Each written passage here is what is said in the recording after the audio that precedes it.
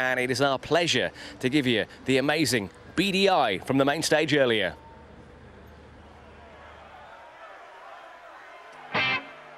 Right then, so apparently this is 3D, yeah? This is getting filmed 3D. And I was wondering what these fucking bambinos would look like in 3D. Any good?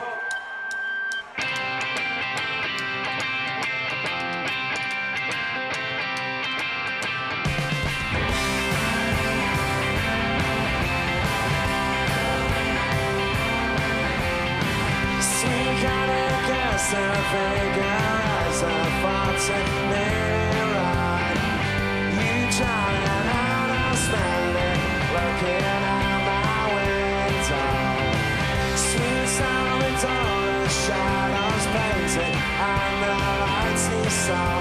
The way I see it now so clear like diamonds on the water. Matter with me and you matter with yourself. For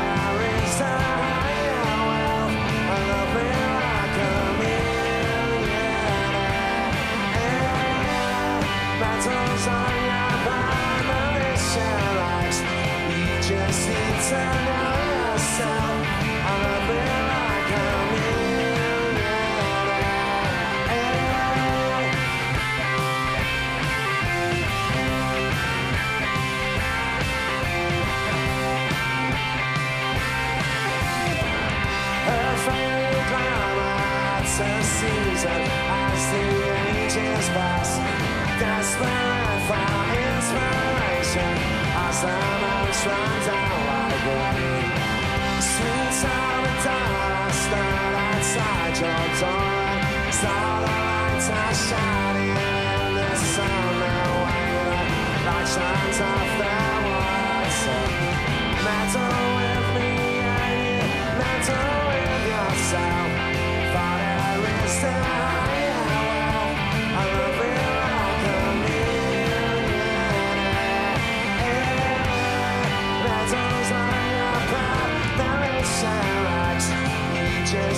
just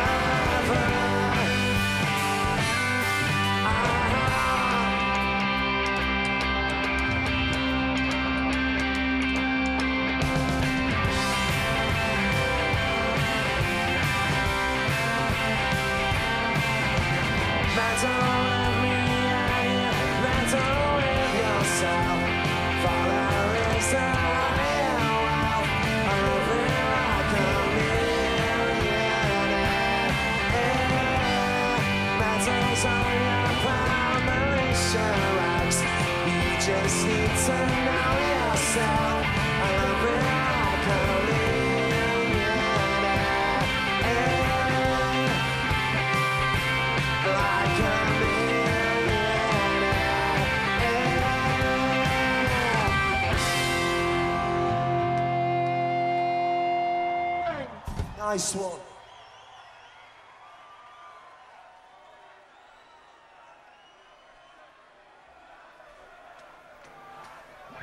You're nice and wet then. You're still looking good though, mate.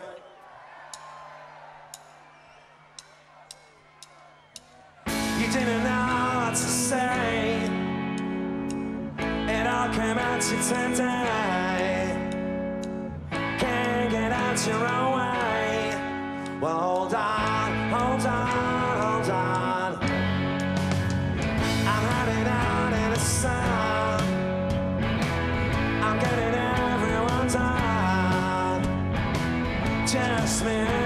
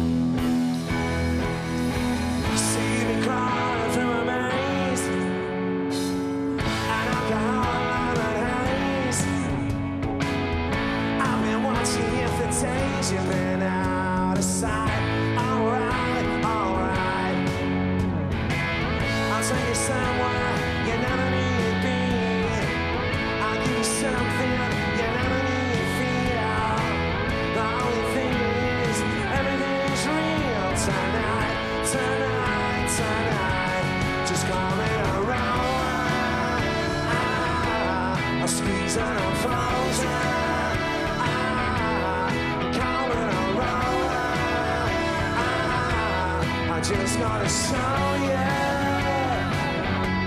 Just coming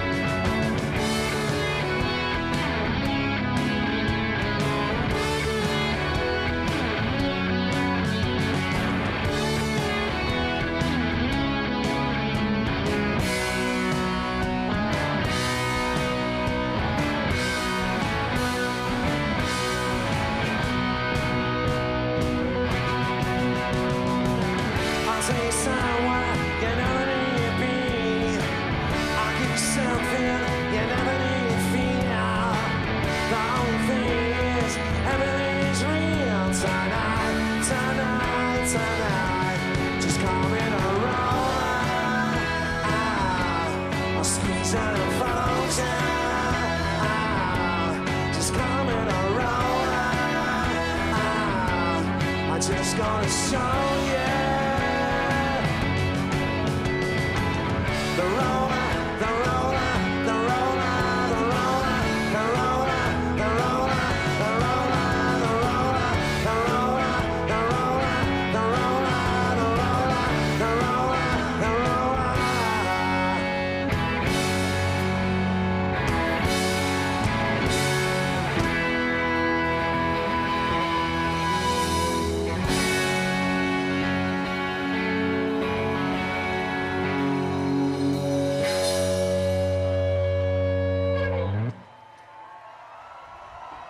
Thank you.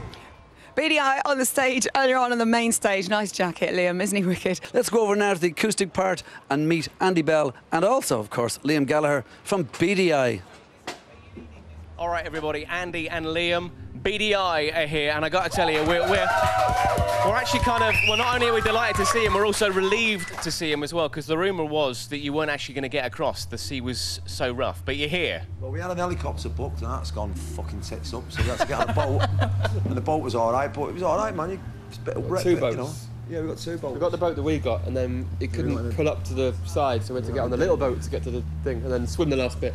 Just round the last bit. Bless you. The thing is, when, when it's like that, you look you look out there and everyone's in, you know, everyone's soaked. Does it mean you have to work harder when you get on the stage when the weather's like this? I ain't working really? fucking harder, no, no fucking chance. I'm doing what we do, and that's the end of it. You know what I mean? Hopefully, people will dig it, dig the music. You know what I mean? But we work hard every time. Hopefully, I mean, I think.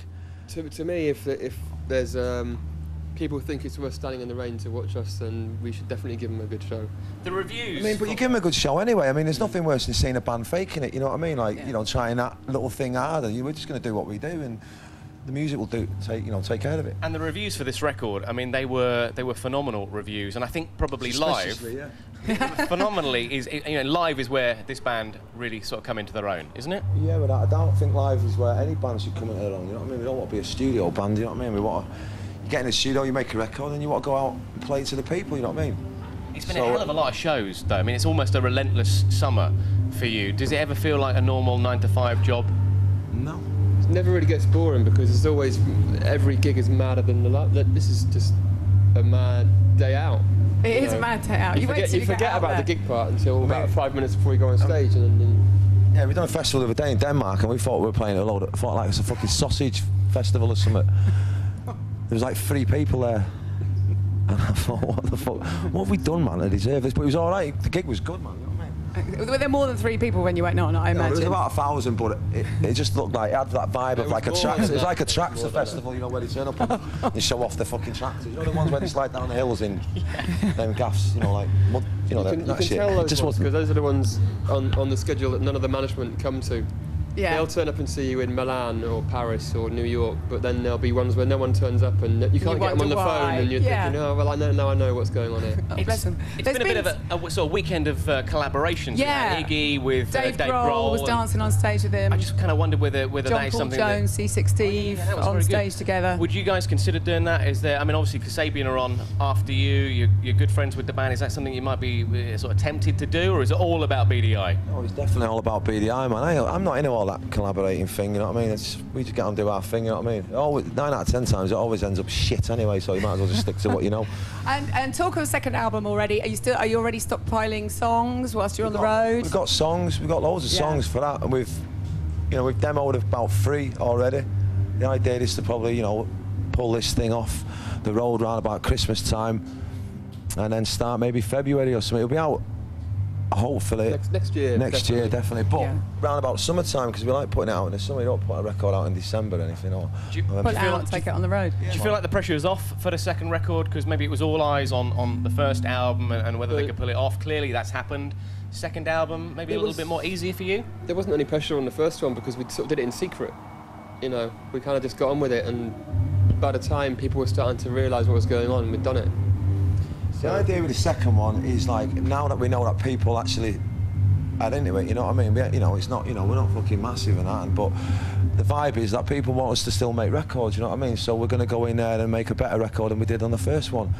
That's the name of the game, you know what I mean? Whereas if people had gone, fuck that shit, not having any of that, then who knows where we would be? Maybe queuing up after that band to get a job in McDonald's. but, you know, we're, we're definitely into making music and the people that have been coming to our gigs want us to make more, so we're going to do that, you know what I mean? Fantastic stuff.